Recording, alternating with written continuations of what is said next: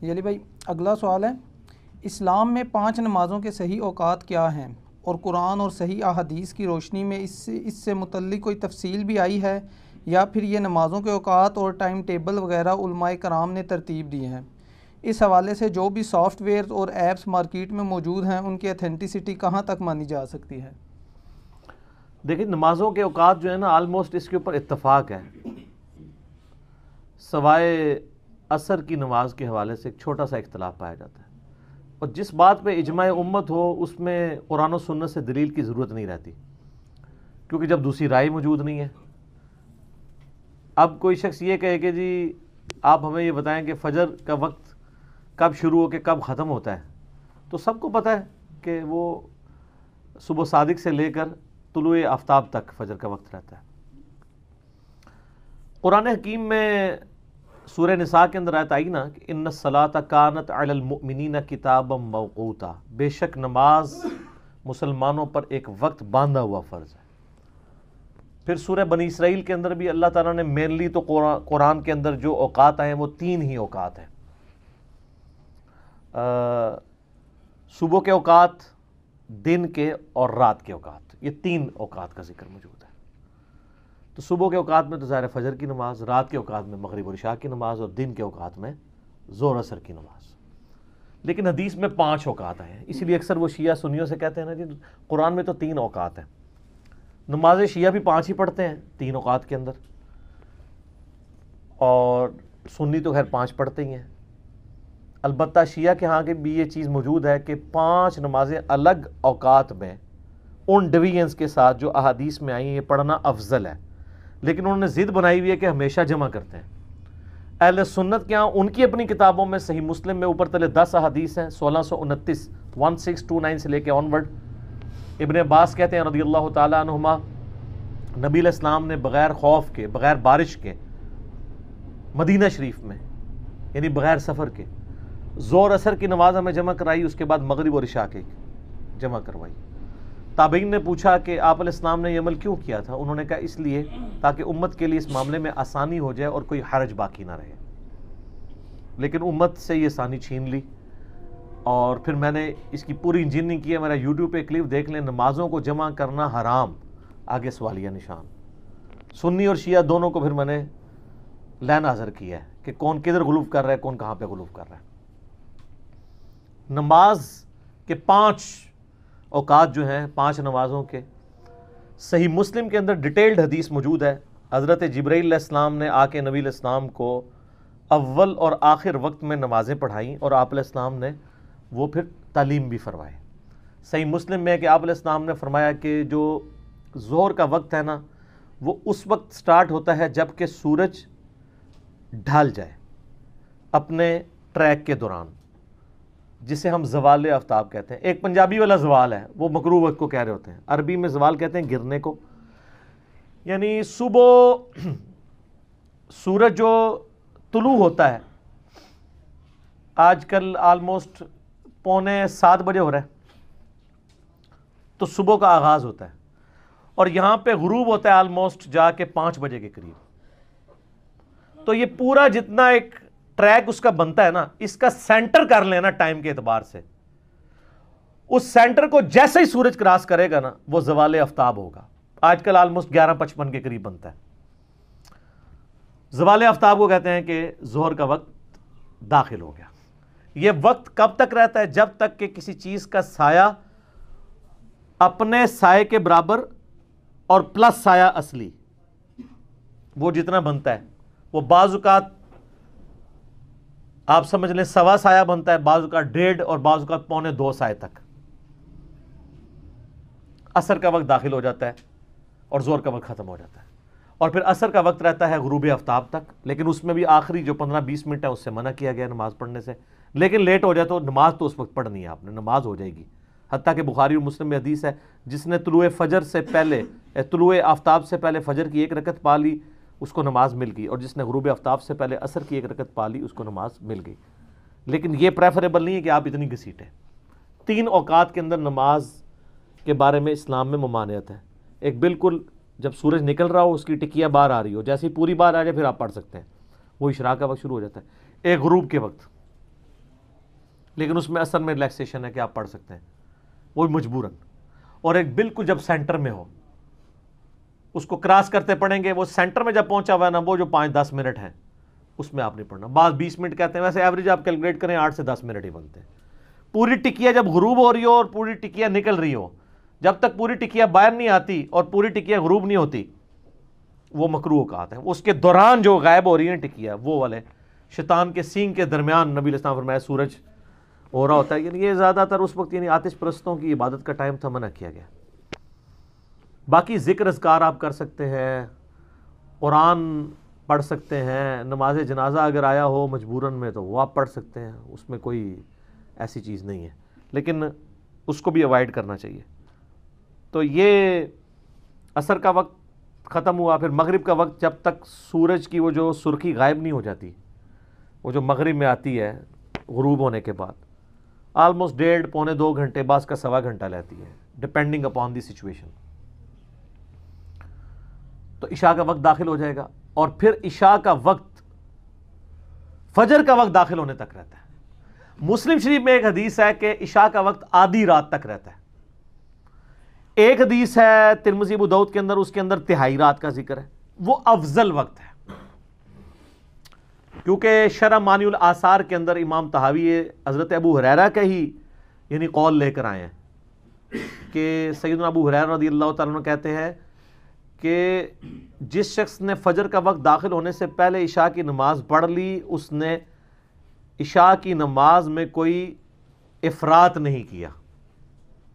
اور عشاء بھی لیٹ کر کے پڑھنا افضل ہے۔ بخاری، مسلم حدیث ہے، نبی الاسلام نماز پڑھانے کے لیے ہے تو تہائی رات گزر چکی ہوئی تھی۔ تہائی رات کا مطلب ہے غروب افتاب سے لے کے فجر کا وقت داخل ہونے تک جو رات کی لینتھ بنتی ہے نا، اس کے تین حصے کریں نا، تو اس میں سے پہلا حصہ گزر چکا ہوا تھا۔ اور پھر آپ نے فرمایا، اگر مجھے امت کی مشقت کا خیال نہ ہوتا تو میں اسی وقت میں عشاء کی نماز کو ڈیلے کر کے پڑھنے کا حکم دیتا۔ افضل وقت وہی ہے۔ اور بورڈ ڈیلے بھی نہیں کرنی، آدھی رات سے پہلے پڑھ لیں۔ یہ جو کہتے ہیں رات کو بارہ بجے زوال کا وقت ہوتا ہے، بارہ بجے سورج ہوتا ہی نہیں، زوال کا وقت کتوں ہو گیا؟ کٹی وڈی کہانی ہے تھی بھی سنتے آئے ہو۔ کسی نے اپنی عقل نہیں استعمال کی تھی، بارہ بجے زوال کتوں آ گیا۔ رات کے بارہ بجے کہاں سے زوال ہے رات کے بارہ بجے پڑھیں، ایک بجے پڑھیں، دو بجے پڑھیں۔ آپ فجر کا وقت داخل ہونے سے پہلے پہلے جس بھی وقت پڑھ لیں گے وہ نماز آپ کی درست ہوگی۔ اور فجر کا وقت داخل ہوتا ہے جب ختم سحری ہوتی ہے، تو فجر کا وقت آلموسٹ ڈیڑھ گھنٹہ ہی رہتا ہے۔ اور وہ کب تک رہتا ہے؟ جب تک سورج نکلنا ہے۔ اور آپ کو مزے کی بات بتاؤں، جتنا مغرب کا وقت ہوتا ہے نا، شام کو اتنا ہی اس دن فجر کا وقت ہوتا ہے۔ اور سب کانٹیننٹ میں ایک گھنٹہ اٹھارہ منٹ سے ایک گھنٹہ اڑتیس منٹ تک یہ ویری کرتا ہے پورے سال میں۔ بعض اوقات یہ ایک گھنٹہ اٹھارہ منٹ رہتا ہے، بعض اوقات ایک گھنٹہ اڑتیس منٹ۔ آپ نے اکثر سنا ہوگا، اس تارے نکل آئے تو مغرب قضا ہو جاتی ہے۔ نہیں۔ وہ سن سائی میں ایک حدیث ہے، نبی السلام نے اس کو فطرت پہ بتایا کہ زیادہ ستارے نکلنے سے پہلے مغرب پڑھ لیں، یہ افضل وقت ہے۔ مغرب کی نماز آپ فجر کے وقت سے پہلے کسی بھی وقت پڑھ سکتے ہیں جب نماز جمع کر رہے ہوں گے۔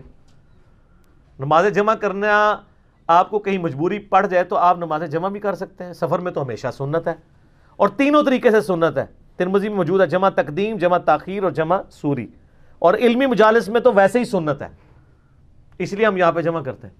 زور کے ساتھ اثر پڑھ سکتے ہیں یا زور کو اتنا لیٹ کریں گے اثر کا وقت شروع ہو جائے اور پھر زور اثر کٹھی پڑھ لیں۔ اور یا سینٹر میں زور آخری وقت میں اثر اول وقت میں پڑھ لیں۔ اور اس طرح مغرب الشاہ کو آپ فجر تک کسی بھی وقت میں اور اس میں کوئی ٹائم کا حساب نہیں، یہی تو آسانی ہے کہ آپ کسی وقت جمع کر سکتے ہیں۔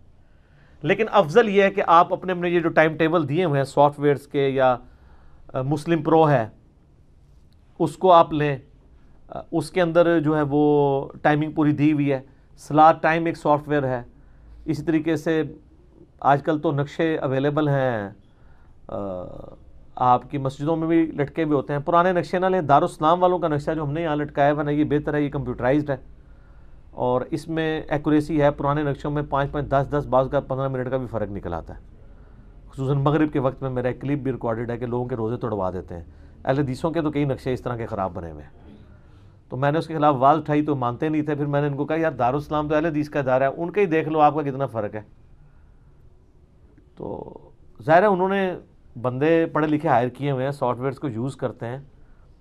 باقی دو تین منٹ سے کوئی فرق نہیں پڑتا، آپ احتیاط کر لیں تو افطاری اور سیری کے اعتبار زیادہ ضرورت ہوتی ہے۔ تو یہ نمازوں کے اوقات ہیں۔ پرانے زمانے میں لوگ دھوپ گھڑی بنایا کرتے تھے۔ بڑا آسان طریقہ ہے کہ آپ ایک ورٹیکل چیز زمین میں گاڑ لیں۔ اور روزانہ کسی بھی جو ورٹیکل چیز ہے، اس کا سایہ کم سے کم جو ہوتا ہے نا، اسے کہتے ہیں سایہ اصلی۔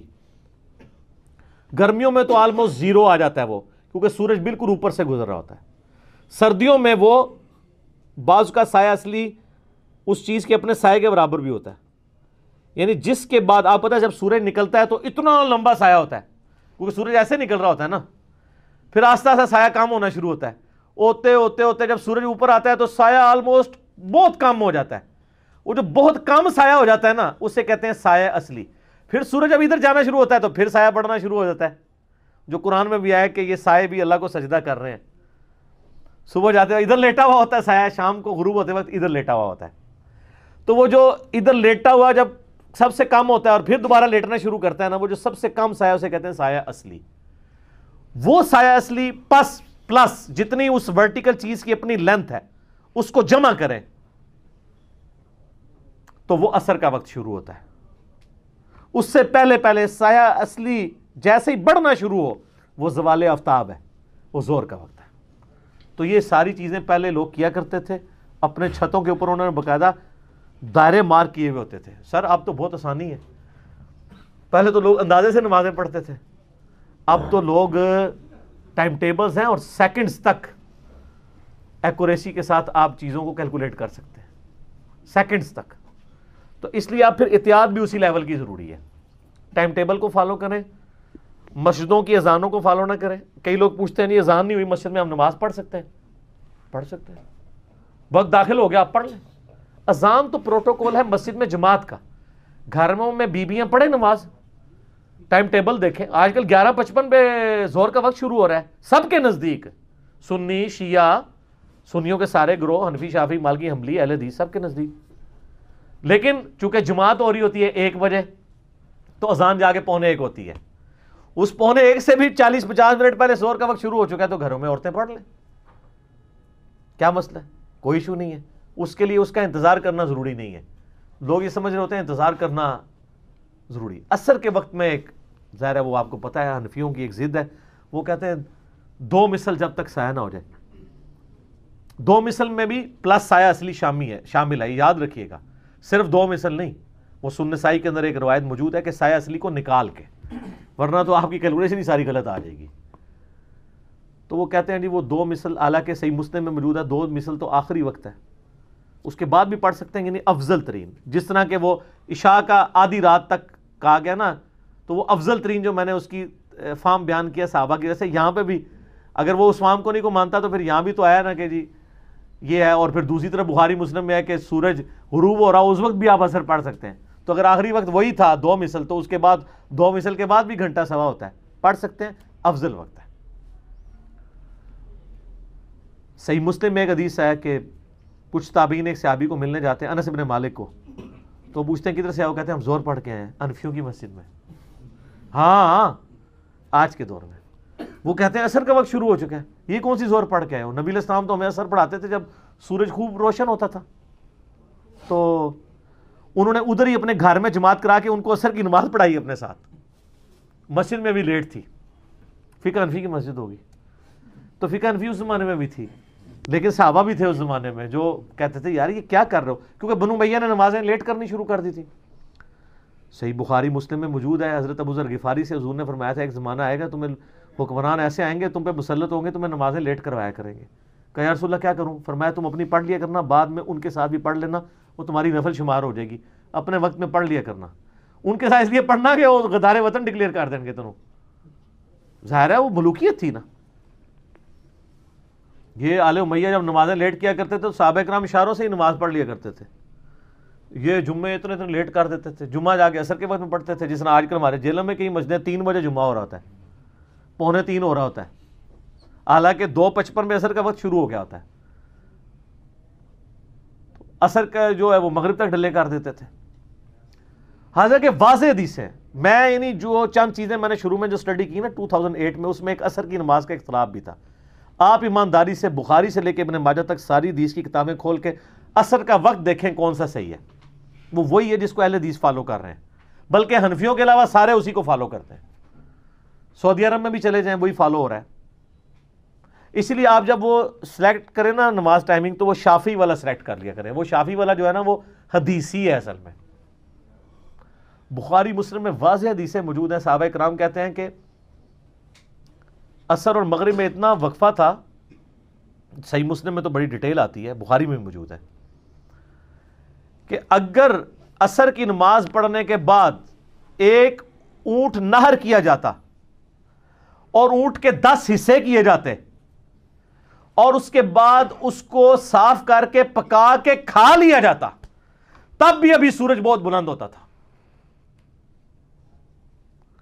تو ذرا اونٹ کو نہر کر کے، اس کی کھال اتار کے، اس کی بوٹیاں کر کے، پھر اس کے گوشت کو گلانے کے لیے، پھر کھانے کے لیے جو ٹائم چاہیے، تو آپ یہ کیلکولیٹ کریں، کم از کم دو ڈھائی گھنٹے بنتے ہیں۔ اور ہماری انفیوں کی کیا ہو رہا ہوتا ہے؟ چار بجے اثر ہو رہی ہوتی ہے اور پانچ بجے مغرب ہو رہی ہوتی ہے۔ یہ پونے چار اثر ہو رہی ہوتی ہے پانچ بجے مغرب۔ اتنی دیر میں ایک اونٹ کو نہر کیا جا سکتا ہے؟ حتیٰ کہ صحیح مسلم میں جو میں نے حدیث بتائی نا، وہ کچھ صحابہ ملنے آئے، تابعین صحابہ کو تو انہوں نے اس اس صحابی نے اسی وقت اثر کی نماز پڑھائی اور پھر فرمایا کہ نبی الاسلام نے تو یہ منافق کی نماز کہا ہے، جو سورج زرد ہونے کا انتظار کرتا ہے پھر دو ٹھونگے مار کے مرغے کی طرح نماز سائڈ فارغ کر دیتا ہے۔ منافق بھی تو اللہ کا ذکر بہت تھوڑا کرتا ہے۔ نبی الاسلام ہمیں خوب روشن ہوتا تھا جب سورج اس وقت نماز پڑھاتے تھے۔ اچھا یہ بخاری مسلم کی جو اونٹ نار کرنے والی حدیث ہے نا، یہ حنفیوں کے گلے میں پھنسی ہوئی ہے۔ پھر اس کی ان کی بڑی تعویل کرتے ہیں۔ ایک آپ کو مدنی لطیف عرض کرتے ہیں۔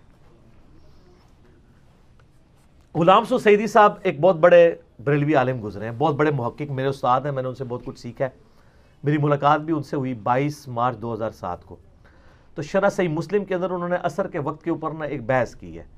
یہ حدیث جب آئی نا کہ اونٹ کو نہر کریں، اس کے دس حصے کریں، اس کو پکا لیں، کھا لیں، اس کے بعد بھی سورج خوب روشن ہو تو ان کو پتا تھا کہ یہ ہنفیوں والی اثر نہیں ہو سکتی۔ یہ وہی اثر ہوگی کہ وہ اثر پونے تین ہو رہی ہو اور مغرب ہو رہی ہو پانچ بڑے یعنی کم از کم دو سوا دو گھنٹے بنتے ہو اب یہ حدیث ان کے چونکہ وہ پھنستی تھی تو انہوں نے کہا کہ جی ہو سکتا ہے کہ چند ماہر قسم کے کسائی مل کے ایک اونٹ کو گراتے ہوں۔ ٹھیک ہے جی۔ اور چند ماہر اور ایک اونٹ کے پیچھے پڑ جاتے ہوں تاکہ وہ پیلل میں بوٹیاں کریں۔ اور یعنی پیلل میں ہنڈیا بھی چڑھ جاتی ہو یعنی آپ وہ جس کو کہتے ہیں نا پنجابی میں کتا لال کرنا۔ اور پھر کھانے والے بھی کو ماہر قسم کے مولوی ہوں گے۔ عام آدمی تری اتنی مہارت اور اونٹ کا گوشت کھا سکتا۔ حالانکہ مجھے یہ بتائیں، جب وہ سیابی حدیث بیان کر رہے تھے، ان کے دماغ میں بھی تھا کہ کسی بندے کے دماغ میں یہ آئے گا کہ ایک سے زیادہ کئی ماہر جو ہے وہ کساب ملیں گے اور یہ کریں گے۔ وہ اونٹ نار کرنے کا طریقہ نہیں آپ کو سکھا رہے تھے۔ وہ یہ بتانا چاہ رہے تھے کہ جب ایک کسائی اونٹ کو نہر کرتا ہے، پھر یہ یہ کیا کیا معاملات ہوتے ہیں؟ اور وہ ٹائم بتا رہے تھے۔ حتیٰ کہ البتہ امام مالک میں آپ کو یہاں تک ملے گا کہ اثر اور مغرب میں اتنا وقفہ ہوتا تھا کہ کوئی شخص پیدل پندرہ میل کا سفر آلموسٹ کر سکتا تھا۔ پندرہ کلومیٹر آج کے دور کے اعتبار سے بتا رہے یعنی تین فرسخ، نو میل بنا، تو نو میل آپ سمجھ لیں، پندرہ کلو میٹر۔ پندرہ کلو میٹر پیدل سفر کرنے کے لیے ایک عام آدمی پیدل جو سفر کرتا ہے، کوئی تیز سے تیز بھی چلے نا، آٹھ سے دس منٹ تو اس کو ایک کلو میٹر کے لیے چاہیے نا۔ لیکن وہ جب بیان کر رہا تھا، وہ بھاگنے کا نہیں کہہ رہا تھا، وہ کہہ رہا تھا پیدل سفر۔ پیدل۔ تو آپ کو آٹھ سے دس منٹ چاہیے ایک کلو میٹر طے کرنے کے لیے۔ آپ آٹھ منٹ بھی لگا لیں۔ آٹھ کو ذرا پندرہ سے ضرب دیں تو یہ آلموسٹ آپ کو پتا چلے گا دو سوا دو گھنٹے یہ بھی بنتے ہیں۔ جدھر سے بھی آپ کان ایتھو پڑھو ایتھو پڑھو، جو مرضی کریں اینڈ رزلٹ یہ نکلتا ہے کہ اثر کا وقت وہی ہے جو بتایا جا رہا ہے۔ کہ خوب روشن دن ہو جب اس وقت آپ نے اثر پڑھنا ہے۔ کسی چیز کا سایہ اپنا اور سایہ اصلی۔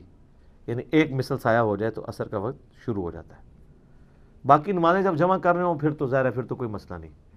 وہ تو پھر آپ آج کل گیارہ پچپن سے لے کے غروب آفتاب تک کسی بھی وقت نماز کو جمع کر سکتے ہیں۔ اور رات کو مغرب غروب ہونے سے لے کے فجر کا وقت داخل ہونے تک کسی بھی وقت نمازوں کو جمع کر سکتے ہیں۔ مسافر ہیں تو ہمیشہ سنت ہے۔ اور اگر مقیم ہے تو کبھی کبھار سنت ہے، ہمیشہ بھی کر لیں تو جواز ہے، لیکن افضل شیعہ کے ہاں بھی ہے، الگ پڑھنا۔ کئی شیعہ علماء ہیں، یہ سید جواد نقوی صاحب کو ہم ملنے گئے، انہوں نے مجھے خود بتایا کہ میں تو نمازیں الگ وقت میں پڑھتا ہوں۔ تو میں نے کہا، اس کی ترغیب بھی نیچے بھی آپ دلائیں نا۔ جس طرح ہم نے اہل سنت کو ترغیب دلائی ہے جمع کرنے کی، اور پریکٹیکلی آپ دیکھتے ہیں کہ ہمارے یہاں ہر سنڈے کو زور اثر ہم جمع کرتے ہیں۔ اور لیٹ ہو جائیں تو مغرب شاہ کو بھی جمع کرتے ہیں۔ کیوں؟ تاکہ وہ مردہ سننا زندہ۔ اور یہ ہفتے میں ایک ہی نماز ہے جو ہم جمع کر کے اس طریقے سے پڑھ رہے ہوتے ہیں، جمع، تقدیم یا تاخیر۔ ادروائز تو اپنے اپنے اوقات میں پڑھتے ہیں۔ اور جمع سوری جو ہے نا، سینٹر میں پڑھنا۔ یعنی جس طرح آج کل عشاء کا وقت شروع ہو رہا ہے آلموسٹ چھ بج کے کوئی چوبیس منٹ پہ، تو سوا چھ بجے آپ مغرب پڑھ لیں اور چھ پچیس پہ عشاء پڑھ لیں۔ تو یہ تو حنفیہ کے نزدیک بھی ٹھیک ہے، وہ کہتے ہیں یہ وقت کے اندر ہی آ گئی ہے۔ اسے جمع سوری کہا جاتا ہے۔ تو جمع سوری تو نام کی جمع ہے، وہ اپنے اپنے وقت میں ہی ادا ہو رہی ہوتی ہے۔ اصل ایشو جمع تقدیم اور تاخیر کا ہے۔ جو ایک امت کے لیے سہولت تھی، جو علماء نے، فرقہ ورانہ تعصب کی وجہ سے چھین لی، لیکن اللہ کا شکر ہے اب لوگوں کو پتہ چل گیا۔ اور جو لوگ باہر کے ملکوں کے اندر ہیں، بیچارے مسافر بھی ہوتے ہیں، ان کو اپنے آفیسز سے، اپنے کام کرنے کی جگہوں سے، اپنے پڑھائی کی جگہوں سے ٹائم ہی بڑا مختصر ملتا ہے، تو وہ تو روزانہ نمازیں جمع کریں۔ ان کو تو شہر سے باہر آلموسٹ یعنی جو صحیح مسلم میں ہے، وہ آپ بیس کلومیٹر کا اگر آپ سفر کرتے ہیں اپنے شہر سے باہر، تو آپ مسافر ہیں۔ روز، روزانہ دو فرض زور کے پڑھیں، دو اثر کے پڑھیں۔ اور مغربی شاہ کے بعد گھر آ کے آپ جس ٹائم مرضی پڑھ لیں۔ پوری رات پڑی ہوئی ہے آپ کے لیے۔ تو دین میں بڑی آسانی ہے۔ لوگ کہتے ہیں علم دین آئے تو مشکل ہوتی ہے۔ علم دین آئے تو آسانیاں ہو جاتی ہیں۔ مشکل نہیں ہوتی۔ ٹھیک ہو گیا۔